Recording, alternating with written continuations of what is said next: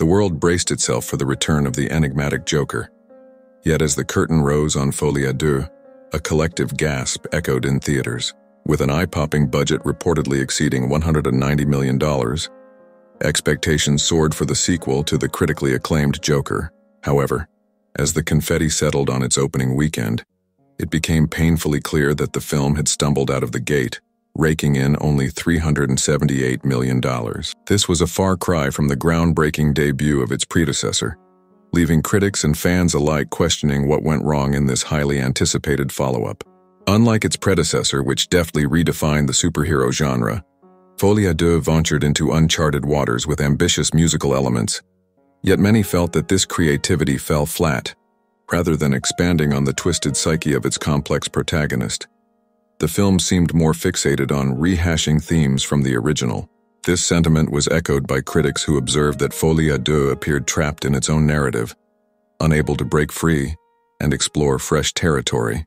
The reflective tone intended to offer depth often found itself mired in familiarity, stifling the potential for originality.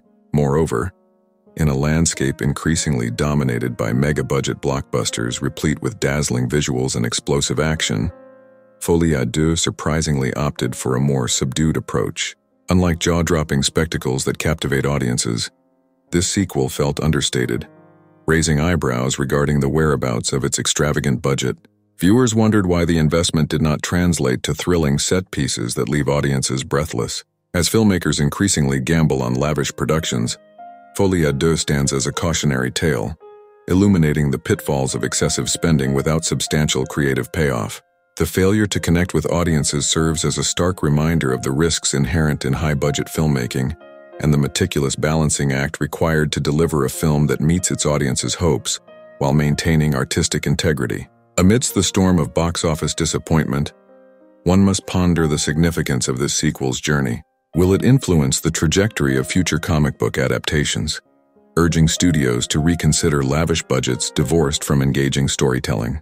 As the film industry reflects on the lessons of Joker, Folie à Deux, the tale serves not just as a stark reminder of the fiscal risks, but also as a clarion call for filmmakers to prioritize creativity over mere spectacle.